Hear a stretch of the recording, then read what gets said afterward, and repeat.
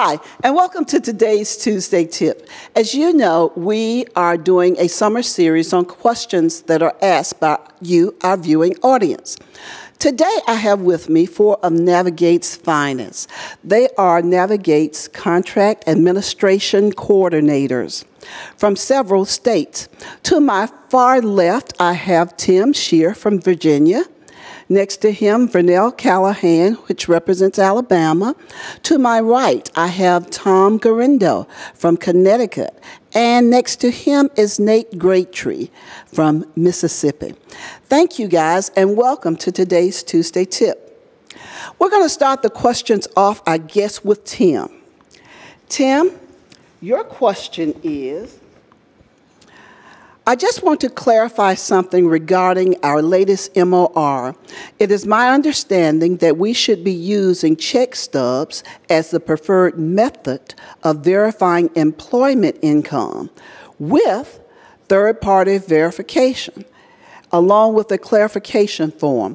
Can you expound on that for us, please? Sure. Thank you, Vickie.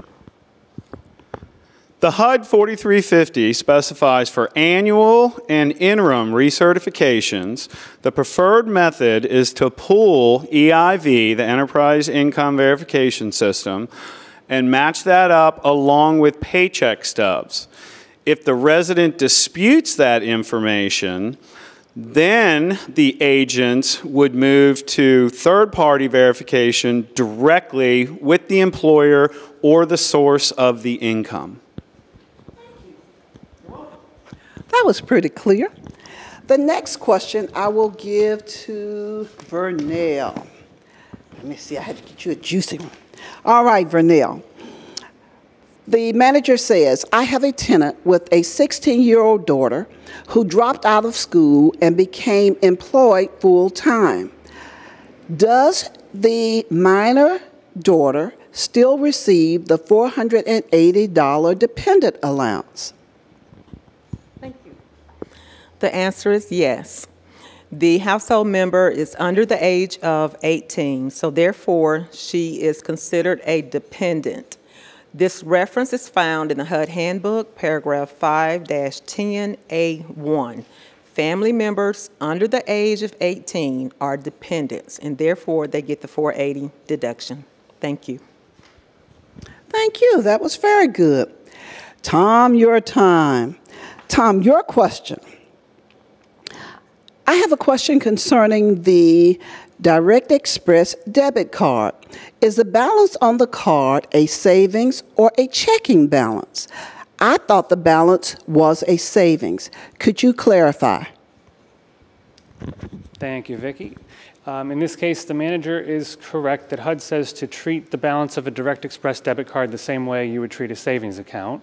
So when the manager is verifying the resident's assets at move-in or at annual recertification, they would ask the resident to get a printout from an ATM showing the current balance on the card, and that's the amount that would re be reflected on the 5-9, and they'd also treat it as if it were a zero interest account. Great. Thank you, Vickie. Thank you, Tom. Nate, last but not least. Nate, your question, and we get these questions quite often. I received a letter from a doctor requesting that my resident be allowed a service animal. My resident already has one animal but wants another.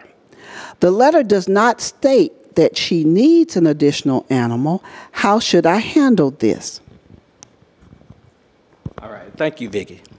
There must be a separate verification for the second service animal.